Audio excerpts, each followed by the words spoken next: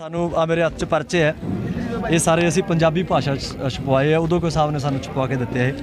ਤਾਂ ਕੱਲ ਤੋਂ ਅਸੀਂ ਇਹਨੂੰ ਅ, ਕੋਸ਼ਿਸ਼ ਤਾਂ ਸਾਡੀ ਇਹ ਹੈ ਕਿ ਪੰਜਾਬ ਦੇ ਕੱਲੇ ਕੱਲੇ ਚੁੱਲ੍ਹੇ ਤੱਕ ਪਹੁੰਚਦੇ ਕਰ ਦਈਏ ਪਰ ਫਿਰ ਵੀ ਅਸੀਂ ਜਿੰਨੇ ਜੋਗੇ ਹੈਗੇ ਆ ਪਹੁੰਚਾਵਾਂਗੇ।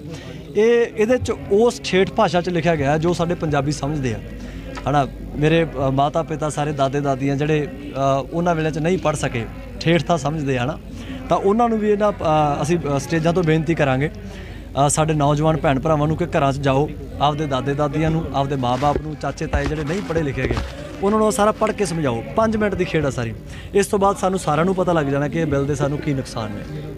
ਤੁਸੀਂ ਗਾਣਾ ਗਾਇਆ ਤੁਸੀਂ ਗਾਣੇ ਤੋਂ ਵਿਰੋਧ ਵੀ ਜਿਹੜਾ ਹੈ ਉਜਾਗਰ ਕੀਤਾ।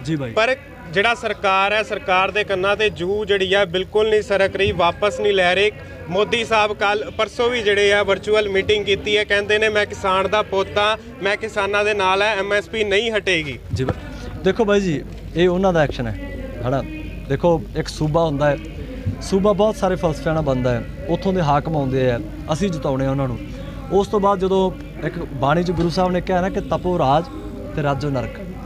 ਬਹੁਤ ਤਪ ਤੋਂ ਬਾਅਦ ਇਹਨਾਂ ਹਾਕਮਾਂ ਨੂੰ ਮਹਾਰਾਜ ਨੇ ਰਾਜ ਬਖਸ਼ਿਆ। ਉੱਥੇ ਆ ਕੇ ਜਿਹੜੇ ਗੁਰੂ ਨਾਲ ਨਹੀਂ ਜੁੜ ਕੇ ਰਹਿੰਦੇ ਨੇਚਰ ਦੀਆਂ ਨਹੀਂ ਮੰਨਦੇ ਥਾਟ ਪ੍ਰੋਸੈਸ ਕਿਸੇ ਹੋਰ ਪਾਸੇ ਚਲਾ ਜਾਂਦਾ ਤਾਂ ਫਿਰ ਉਹ ਹਿੱਲ ਜਾਂਦੇ ਆ। ਇਸੇ ਤਰ੍ਹਾਂ ਇਹਨਾਂ ਹਾਕਮਾਂ ਨਾਲ ਹੋ ਰਹੀ ਹੈ। ਉਹਨਾਂ ਤੋਂ ਗਲਤ ਫੈਸਲੇ ਕਰਵਾ ਰਹੇ ਆ। ਤਾਂ ਇੱਥੇ ਇਹ ਨਹੀਂ ਕਿ ਆਪਾਂ ਚੁੱਪ ਕਰਕੇ ਬਹਿ ਜਾਾਂਗੇ ਸੰਘਰਸ਼ ਹੋਊਗਾ ਯਾਰ ਔਰ ਜੇ ਸਾਰੇ ਅਸੀਂ ਇੱਕ ਹੋ ਕੇ ਲੜਾਂਗੇ ਤਾਂ ਇੱਕ ਗੱਲ ਮੈਂ ਤੁਹਾਨੂੰ ਹੋਰ ਬੜੀ ਸਫ਼ਾਈ ਨਾਲ ਕਹਿਣਾ ਹੈ ਕਿ ਜਦੋਂ ਬਜ਼ੁਰਗਾਂ ਨੇ ਸੰਘਰਸ਼ ਲੜਿਆ ਨਾ ਤਾਂ ਇਹਨਾਂ ਬਿੱਲਾਂ ਦੇ ਵਿੱਚ ਸੋਧਾਂ ਹੋਈਆਂ।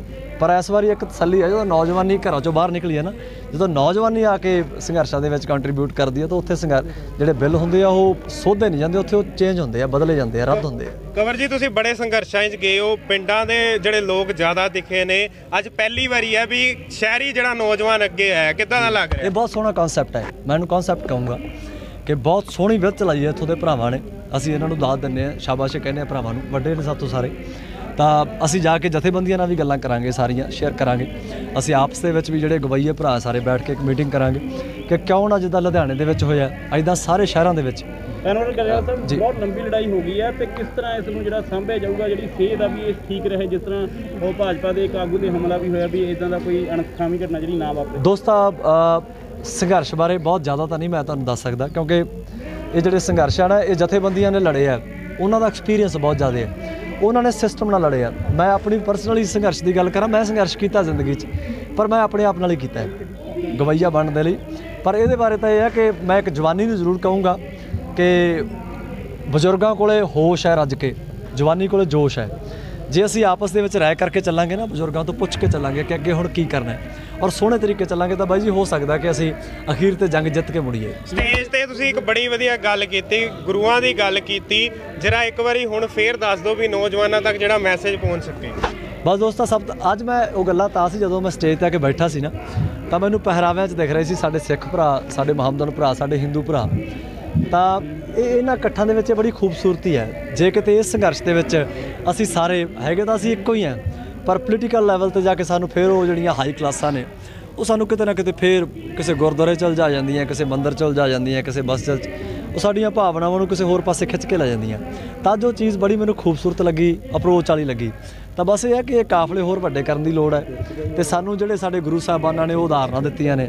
ਹਨਾ, ਮੈਂ ਹਰ ਸਟੇਜ ਤੇ ਬੋਲਦਾ ਨਾ ਕਿ ਜਿਵੇਂ ਸਾਈਂ ਮੀਆਂ ਮੀਰ ਹੋਰਾਂ ਨੇ ਹਰਮੰਦਰ ਸਾਹਿਬ ਦੀ ਨਿਉ ਰੱਖੀ ਸੀ। ਉਸ ਵੇਲੇ ਬੁਲਾਵਾ ਕੀ ਸੀ ਕਿ ਬ੍ਰਹਿਮੰਡ ਦੇ ਵਿੱਚੋਂ ਕੋਈ ਐਸੀ ਨੇਕ ਰੂਹ, ਐਸੀ ਪਾਕ ਰੂਹ ਲੈ ਕੇ ਆਓ ਜਿਹੜੀ ਹਰਮੰਦਰ ਸਾਹਿਬ ਦੀ ਨਿਉ ਰੱਖੇ। ਤਾਂ ਗੁਰੂ ਸਾਹਿਬਾਨਾਂ ਨੇ ਕਿੱਡਾ ਅਦਬ ਦਿੱਤਾ ਕਿ ਸਾਈਂ ਜੀ ਆਏ, ਅੱਲਾ ਅੱਲਾ ਕਰਦੇ ਹਰਮੰਦਰ ਸਾਹਿਬ ਦੀ ਨਿਉ ਰੱਖੇ। ਇਸੇ ਤਰ੍ਹਾਂ ਕਸ਼ਮੀਰੀ ਪੰਡਤ ਸੀ। ਹਨਾ, ਉਹ ਨੌਵੇਂ ਪਾਤਸ਼ਾਹ ਕੋਲੇ ਆਏ ਸੀ। ਤਾਂ 9 ਸਾਲ ਦਾ ਬੇਟਾ ਬੋਲਿਆ ਸੀ ਕਿ ਹੁਣ ਸੀਸ ਤੁਹਾਡੇ ਦੀ ਲੋੜ ਹੈ। ਤਾਂ ਉਹ ਉਦਾਹਰਨਾਂ ਇਹਨਾਂ ਸਟੇਜਾਂ ਤੋਂ ਡਿਸਕਸ ਹੋਣੀਆਂ ਚਾਹੀਦੀਆਂ ਐਕਸਪਲੇਨ ਹੋਣੀਆਂ ਚਾਹੀਦੀਆਂ ਜਿੱਥੋਂ ਸਾਡਾ ਭਾਈਚਾਰੇ ਦੀ ਸਾਂਝ ਵਧੇ। ਤਾਂ ਜਦੋਂ ਭਾਈਚਾਰੇ ਦੀ ਸਾਂਝ ਵਧ ਗਈ ਬਾਬਾ ਤਾਂ ਫਿਰ ਕਿਸੇ ਦੀ ਹਿੰਮਤ ਨਹੀਂ ਹੈ ਕਿ ਪੰਜਾਬ ਅੰਨੀ ਕੋਈ ਅੱਖ ਉੱਚੀ ਕਰਕੇ ਦੇਖ ਜੇ। ਵਿਰੋਧ ਹੋ ਰਿਹਾ ਹੈ ਵਿਰੋਧ ਦੇ ਬਾਵਜੂਦ ਕੇਂਦਰ ਸਰਕਾਰ ਕਹਿ ਰਹੀ ਹੈ ਕਿ ਸੂਬਾ ਸਰਕਾਰ ਕਿਸਾਨਾਂ ਨੂੰ ਭ੍ਰਮਿਤ ਕਰ ਰਹੀ ਹੈ ਇਸ ਨੂੰ ਲੈ ਕੇ। ਨਹੀਂ ਦੋਸਤੋ ਨਹੀਂ ਇਹ ਤਾਂ ਕਲੀਅਰ ਹੈ। ਇਹ ਮੈਂ ਤੁਹਾਡੇ ਸਵਾਲ ਦਾ ਪਹਿਲਾਂ ਜਵਾਬ ਦੇ ਚੁੱਕਿਆ ਕਿ ਬਿੱਲ ਤਾਂ ਕੰਪਲੀਟਲੀ ਸਾਡੇ ਹੱਕਾਂ 'ਚ ਨਹੀਂ ਹੈਗਾ। ਆਜ਼ਾਦੀ ਤੋਂ ਬਾਅਦ ਜੀ ਇਹ ਸਭ ਤੋਂ ਲੰਬੀ ਲੜਾਈ ਅਸੀਂ ਦੇਖਿਆ ਵੀ ਲੜੀ ਜਾ ਰਹੀ ਹੈ ਜਿਹੜੀ ਤੇ ਕੀ ਲੱਗਦਾ ਕੀ ਆ ਵੀ ਇਹਦਾ ਜਿਹੜਾ ਨਤੀਜਾ, ਕਿੱਦਾਂ ਦਾ ਨਤੀਜਾ ਜਿਹੜਾ ਨਿਕਲਣ ਦੀ ਉਮੀਦ ਦੇਖੋ, ਸਾਡੀ ਤਾਂ ਦਿਨ ਰਾਤ ਬਾਹਰ ਆ ਅੱਗੇ ਇੱਕੋ ਹੀ ਅਰਦਾਸ ਹੈ ਕਿ ਅਸੀਂ ਸਾਰੇ ਇਕੱਠੇ ਹੋ ਕੇ ਲੜੀਏ ਸੂਝ ਬੂਝ ਦੇ ਨਾਲ ਲੜੀਏ, ਜਾਗ ਕੇ ਲੜੀਏ, ਚੜ੍ਹਦੀ ਕਲਾ ਨਾਲ ਲੜੀਏ ਤੇ ਜਿੱਤ ਕੇ ਵਾਪਸ ਆਈਏ ਭਰਾ।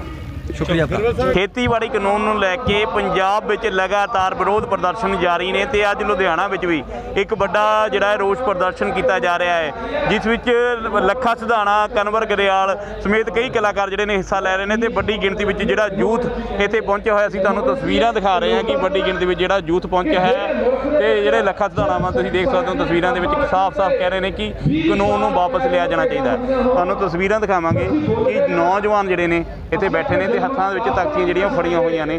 ਤੁਹਾਨੂੰ ਤਸਵੀਰਾਂ ਵਿੱਚ ਅਸੀਂ ਦਿਖਾ ਰਹੇ ਹਾਂ ਕਿ ਤਖਤੀਆਂ ਨੌਜਵਾਨਾਂ ਦੁਆਰਾ ਫੜੀਆਂ ਹੋਈਆਂ ਨੇ ਤੇ ਲਗਾਤਾਰ ਇਸ ਕਾਨੂੰਨ ਦੇ ਖਿਲਾਫ ਜਿਹੜਾ ਹੈ ਵਿਰੋਧ ਪ੍ਰਦਰਸ਼ਨ ਕੀਤਾ ਜਾ ਰਿਹਾ ਹੈ। ਤੇ ਅਸੀਂ ਕਿਸੇ ਇਹਨਾਂ ਦੇ ਨਾਲ ਗੱਲਬਾਤ ਵੀ ਕਰਾਂਗੇ ਕਿ ਇਹਨਾਂ ਦਾ ਕੀ ਕਹਿਣਾ ਇਸ ਦੇ ਬਾਰੇ ਤੇ ਕਿਉਂ ਇਸ ਦੇ ਬਾਰੇ ਜਿਹੜਾ ਸੰਬੰਧ ਵਿੱਚ ਵਿਰੋਧ ਪ੍ਰਦਰਸ਼ਨ ਕੀਤਾ ਜਾ ਰਿਹਾ ਹੈ। ਇੱਕ ਪਾਸੇ ਜਿੱਥੇ ਇੱਕ ਸਰਕਾਰ ਕਹਿ ਰਹੀ ਹੈ ਕਿ ਇਹ ਕਾਨੂੰਨ ਜਿਹੜੇ ਨੇ ਕਿਸਾਨਾਂ ਦੇ ਹੱਕ ਵਿੱਚ ਨੇ ਤੇ ਉੱਥੇ ਹੀ ਲਗਾਤਾਰ ਕਿਸਾਨਾਂ ਵੱਲੋਂ ਵਿਰੋਧ ਪ੍ਰਦਰਸ਼ਨ ਕੀਤਾ ਜਾਣਾ ਤੇ ਵੱਡੀ ਗਿਣਤੀ ਵਿੱਚ ਹੁਣ ਨੌਜਵਾਨ ਵੀ ਸੀ ਜਿਹੜਾ ਵਿਰੋਧ ਪ੍ਰਦਰਸ਼ਨ ਦੇ ਵਿੱਚ ਇੱਕ ਸ਼ਾਮਲ ਹੋ ਚੁੱਕਾ ਹੈ।